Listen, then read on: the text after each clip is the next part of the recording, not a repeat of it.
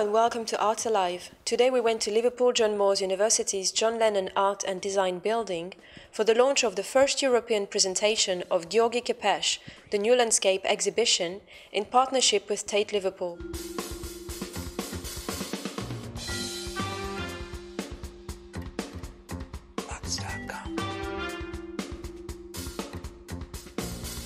Francesco, you are currently showcasing uh, this exhibition at the Tate. Uh, can you tell us a little bit about György Kepes? Um, is really a fascinating experimenter because um, he um, initially worked with Moholy-Nagy uh, when Moholy-Nagy was at the Bauhaus. So it was gravitating around the Bauhaus uh, uh, at the beginning of the century. Uh, it was Moholy-Nagy assistant, studio assistant. And then he moved to America, he moved to Chicago to actually be really founding part of the, of the second Bauhaus, uh, the American version of, of that legendary school. Um, not only was involved in that, but then also he set up in, uh, in MIT in Boston, he set up uh, the Center for Advanced Visual Studies, which is again uh, probably the first really um, research institute and exhibition institute where art, science, and other discipline were, were sort of meeting together. And this is the pioneering vision of Kepes. He was a photographer, he was an artist, but he was also a thinker and one who really wanted discipline to share problems and questions. Can you tell us a little bit about this work? I mean, the, first of all, the exhibition that you're showing at the Tate, uh, how do you recognize this work? What's so particular about, about it? The exhibition we, we, we, are showing at Tate is quite different from, from this particular installation because it showcases more or less 80 photographs uh, or I should say photograms. Uh, they are photographs that are done mainly without camera, so they are used Kepes used objects to project light and, uh, and shadows on photographic paper, and through that they create these uh, abstract photograms, which are, which are really beautiful. And he did that uh, more or less at the end of the 40s. While this show, which uh, is a reconstruction of a show from 51, really um, testifies his interest in using other people's images and, and uh, in sort of setting up a critical visual vocabulary. So in this show, he uses uh, scientific images that have some sort of formal correspondence uh, to tell us about structures and, and sort of systems, which is really uh, one of the main themes that he started working on and, he, and he, that will carry on throughout his career at MIT. Okay, so it's based on science, exactly? I mean, how can you explain us? These are images from scientific books. So it could be natural history books, it could be encyclopedias. And what Kepes was interested in is not really what they represent, whether they are a picture of a leaf or something else uh, that is occurring in the natural environment, but more like the structure that, that, are depicted in the image. So sometimes they are magnified images, some other times they are shadows.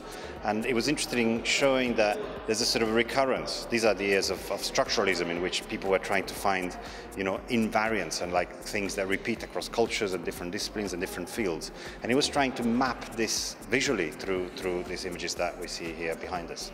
Okay, so it's kind of like geometry in like nature and environment as well? It's that, and then it's system theory, which eventually comes into cybernetics, which eventually comes into into uh, you know computing and algorithms. So it's it's really about this um, uh, communication between different disciplines such as mathematics and, uh, um, yes, the formal elements of art, um, but also the idea of languages and codes and how this can um, have share similarities between, between them and how art can help um, visualize these similarities and help us better understand the world we're in. And so why did you decide to work with LJMU on this exhibition? Well, we work with LJMU on a variety of projects, and, and in particular, we have a shared member of staff which works half time here uh, and uh, at JMU and half time at, Tate, and, and, she's the curator of the exhibition um, uh, here, Isobel, who uh, I'm sure you'll, you'll, you'll, talk to later on.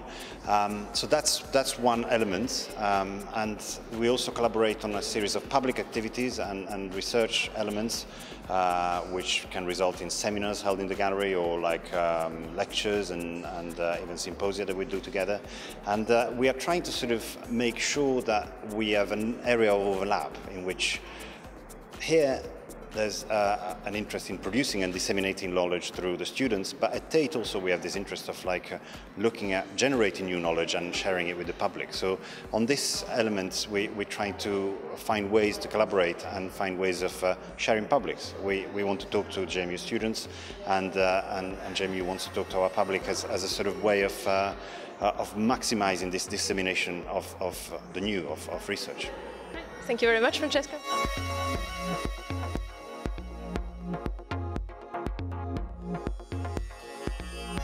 Now joined with Isobel Whitelegg, who's the convener of the Exhibition Research Center here at LJMU. Hello. Hello. Nice um, can you tell us a little bit how did you work on this project here at LJMU and with the Tate? Sure. Um, well, it began really when I arrived in Liverpool because I arrived in the autumn to begin a collaborative post between Tate and um, the School of Art and Design here at John Moores. And I discovered that one of the shows that was being planned at that point was an exhibition of the photographs of György Kepes. Um, and I'd actually come to have an interest in his work from a different direction, which was how Kepes had worked as an exhibition designer and exhibition organizer, particularly in a project that he developed for the Sao Paulo Biennial in 1969, which is a project that never actually happened. So I thought it would be exciting to bring together his um, photographic works, which are in the Tate collection on display there now, with um, a wider picture of how he was involved in designing and organising exhibitions and how that might be considered into relationship to different kind of political and social contexts that moved from the 50s through to the 60s.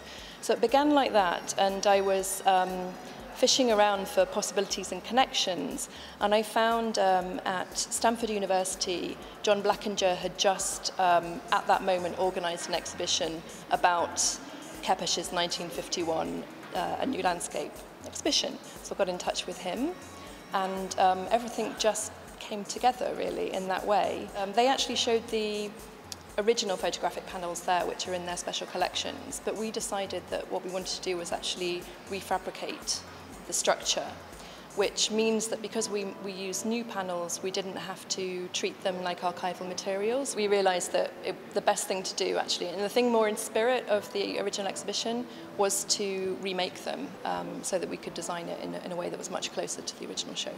Okay, so um, the exhibition was already at Tate when you decided to take no, part? it was it was kind of on the cards. It was being organised, um, and so I had I had time to kind of do some research before and to make this happen.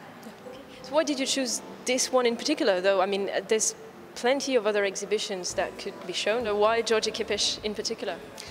Well, it was partly because I had an existing interest in his work, but also because the, the purpose of the gallery program here and the Exhibition Research Centre is to look in particular at the history of exhibitions.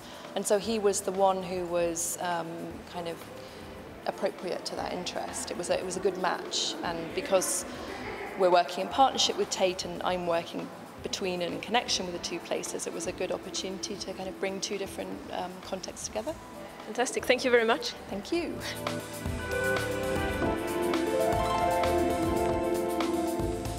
I'm now joined with Edward John Harcourt, who's the Pro Vice Chancellor for External Engagement at Liverpool John Moore University. Hello. Hello. Uh, can you tell us a little bit how LJMU and Tate work together on this exhibition?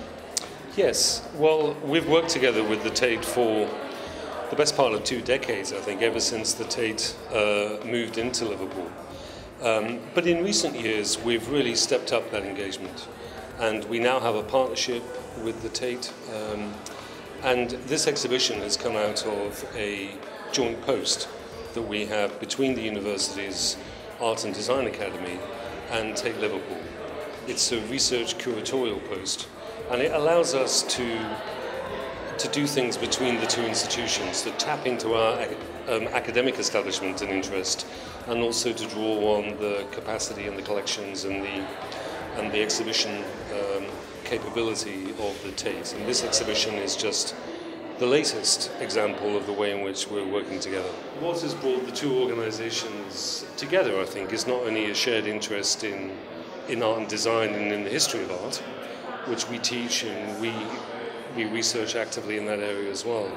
But I think, I think we're two anchor institutions here in the city. I mean, Liverpool has had a long transition back from the days of being a, a, a port city. It's now uh, still a very significant port city, but it's got a much more diverse and uh, sustainable um, economic uh, makeup. And I think the Tate's investment decision to come and to set up a gallery here in the Albert Dock in Liverpool, uh, you know, 20 or more years ago, was a very significant boost to a city that was then really struggling to to find its mojo and kind of you know come back from some very very serious and profound economic dislocation. We've been an anchor institution in the city for a lot longer than that, but I think working together, we've um, helped the city, I think, we rediscover its sense of purpose, its sense of confidence, its interest in the arts, and uh, the fact that Liverpool was a you know, European capital of culture in 2008, which was a program of activity that the university and Tate collaborated on very, very strongly. I think all of that you know, really cements our, our alliance. It's not just about education and research, it's also about the vitality of the city region here in Liverpool and making the city of Liverpool a great place to live, work, and study. And so, what are the future projects of the Tate and LJMU? Well, we have an extensive program that runs during the course of the year. So, with most of the exhibitions that are on um, uh, Tate Liverpool, our, our, research curator will run an educational program that um, provides our students, typically students on particular courses, an opportunity to go down and to do some educational work around the exhibition. So, for example, a current exhibition is about the Lancastrian artist Leonora Carrington, who became one of the most prominent Mexican surrealist painters. And we've had a number of um, events down at the Tate during the course of the Leonora Carrington exhibition that has provided uh, students opportunities not only to view the exhibition but to engage with the curators and to do some reading around the subject and to engage engage creatively with the exhibition that's on. Kepes, The New Landscape will be on display until the 19th of June. In part 2, we'll be at the Tate for another one of our series, 10 Minute Tate, this week about Richard Wentworth's unconventional art piece, Shower.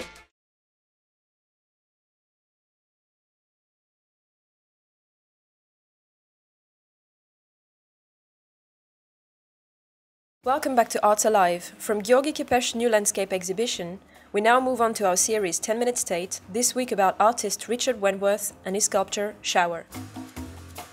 This is a piece by Richard Wentworth, uh, done in 1984. It's called Shower. And it's one of those works of art that annoys a lot of people because it is just a table, uh, what we might call a found object or a ready-made object. Uh, the idea of the found object or the ready-made object was started by a man called Marcel Duchamp. Now he's either a man who gave us lots and lots of freedom in art or he's the man that started lots and lots of trouble in art, depending on your point of view. He's famous, of course, for his, uh, his urinal, which he displayed as a French artist. He displayed this urinal in New York uh, at an exhibition that said it wouldn't reject anything, it would accept anything as art. Marcel Duchamp displays a urinal, those urinals where you go to the gents, gentlemen who are watching there, and put it in the gallery and he called it the fountain tastefully.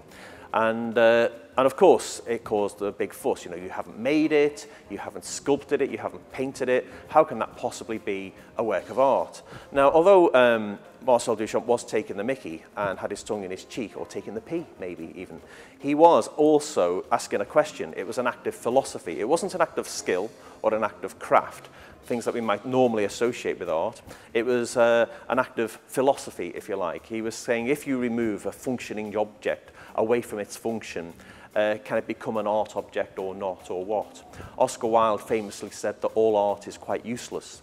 Uh, that's an arguable point anyway, but if we do think that art is quite useless, then if you take a useful object and make it useless, does it become an art object or not? Why do, why do we revere certain objects on plinths and not others?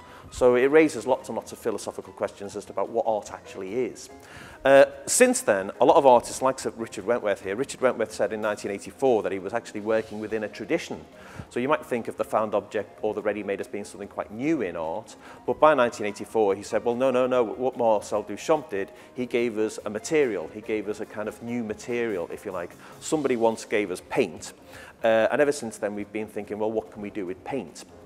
Uh, uh, Marcel Duchamp gives us the found object and the ready-made, and artists since then have thought, well, okay, thank you for giving us the, the found object and the ready-made, and also Marcel Duchamp gives us something else, which is the idea of conceptual art, that art can be a concept and an idea, as well as craft and skill and all those other things we enjoy in art, that ideas and concepts are just as valuable. You could have ideas and concepts without skill and craft.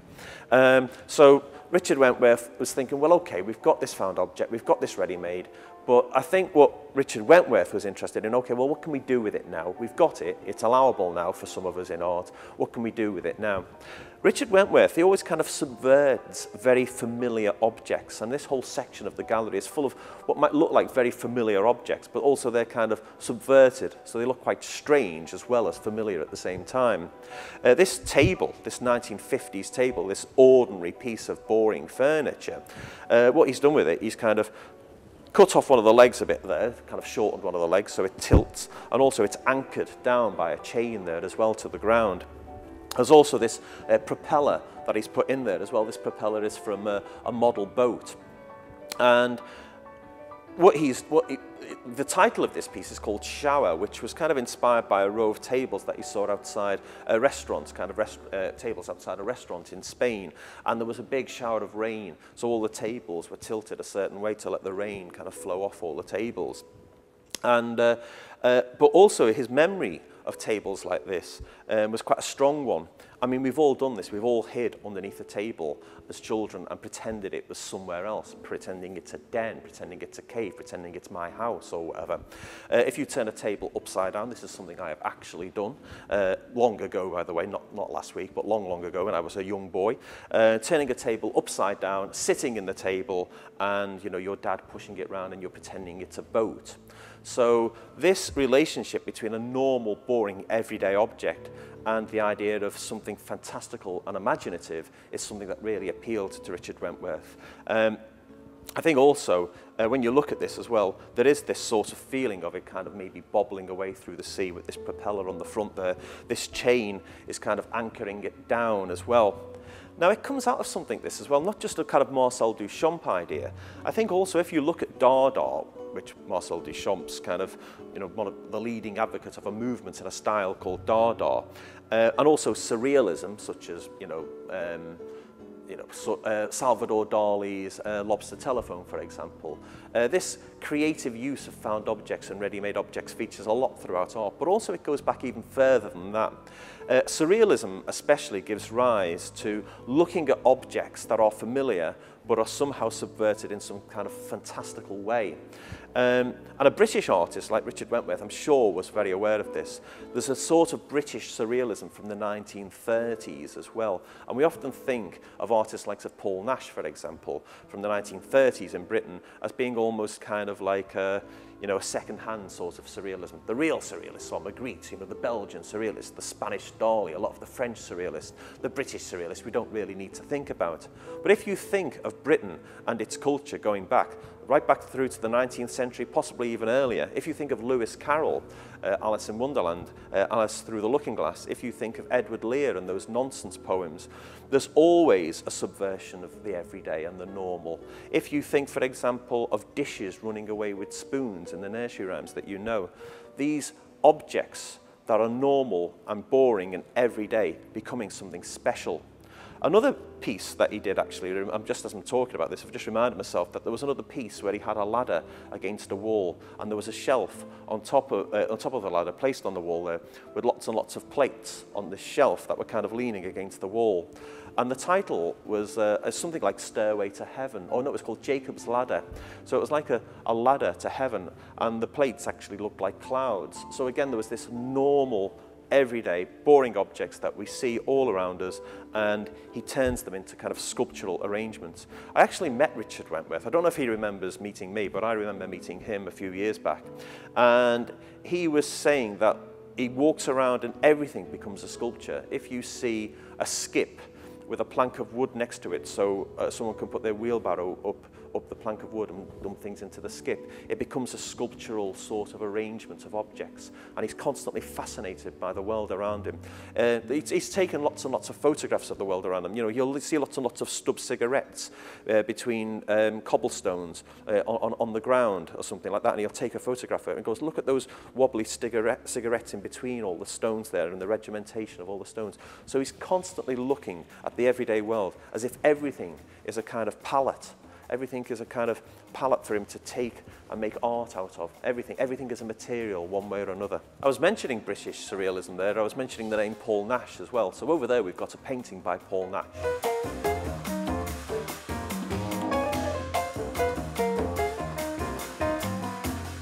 This is Harbour and Room by Paul Nash. Uh, Paul Nash is probably famous as, as a war artist in both the First World War and the Second World War. Uh, between the wars, though, he was experimenting in lots and lots of ways of making art and thinking about art. Sometimes he went very abstract as well, and sometimes he went very surreal. So this is like a British version of surrealism, if you like. Um, however, he was actually the, on the French Riviera when he did this painting, and he was staying with another artist, Edward Burra, another uh, well-known British artist as well.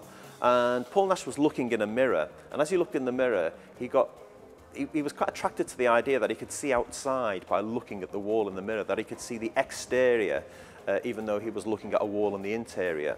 Uh, so playing with mirrors, of course, immediately you start to think of things like Alice through the looking glass here. We've got this mixture of the interior and the exterior.